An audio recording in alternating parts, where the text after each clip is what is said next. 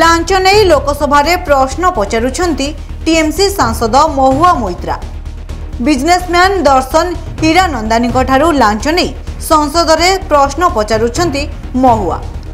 ଯାହାଦ୍ୱାରା ଦର୍ଶନ ହୀରାନନ୍ଦାନୀଙ୍କୁ ଫାଇଦା ପହଞ୍ଚୁଛି।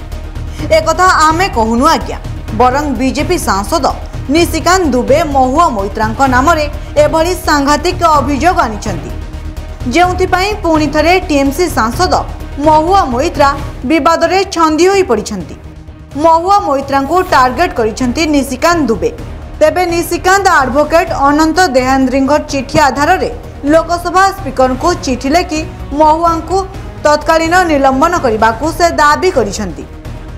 ବିଜେପି ସାଂସଦ ନିଶିକାନ୍ତ ଦୁବେ ଲୋକସଭା ବାଚସ୍ପତିଙ୍କୁ ଚିଠି ଲେଖି ମହୁଆଙ୍କ ବିରୋଧରେ ଅଭିଯୋଗ କରିଛନ୍ତି।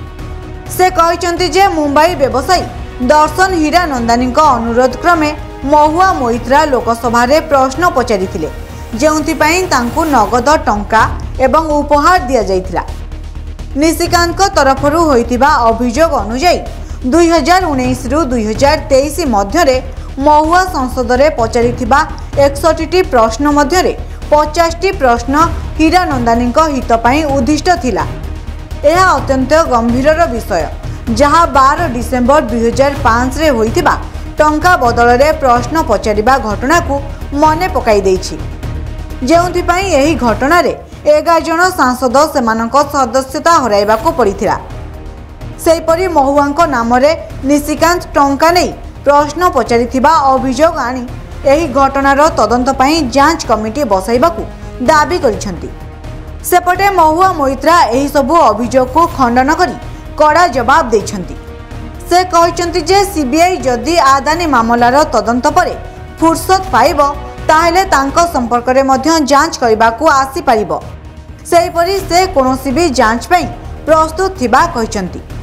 ଏହା ସହ ନିଶିକାନ୍ତ ଦୁବେଙ୍କ ଏମ୍ବିଏ ଏବଂ ପିଏଚ୍ଡି ଡିଗ୍ରୀ ନକଲି ବୋଲି ମହୁଆ ଦାବି କରିଛନ୍ତି। ତେବେ ବିଜେପି ସାଂସଦ ନିଶିକାନ୍ତ ଟିଏମ୍ସି ସାଂସଦ ମହୁଆଙ୍କୁ ଲାଞ୍ଚ ନେଇ ପ୍ରଶ୍ନ ପଚାରୁଥିବା କହିଥିବା ବେଳେ ଏପଟେ ମହୁଆ ମଧ୍ୟ ନିଶିକାନ୍ତଙ୍କ ଶିକ୍ଷାଗତ ଯୋଗ୍ୟତାକୁ ନେଇ ପ୍ରଶ୍ନ ଉଠାଇଛନ୍ତି। ତେବେ ଏହି ଘଟଣା କେଉଁ ମୋଡ଼ ନେଉଛି ତାହା ଦେଖିବାକୁ ବାକି ରହିଲା। Bureau report mobile news twenty four into seven.